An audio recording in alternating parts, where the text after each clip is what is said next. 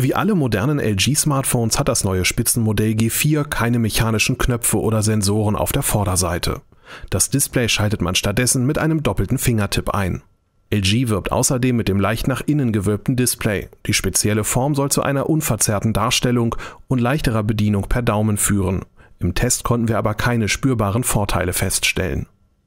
Das Standardmodell des G4 kommt mit einer billigen Plastikrückseite. Alternativ gibt es eine Variante mit Lederrücken, die aber 50 Euro mehr kostet. Außerdem findet man auf der Rückseite die Kamera mit Laserfokus und die Knöpfe für das Display und die Lautstärke. Akku und Speicherkarte lassen sich wechseln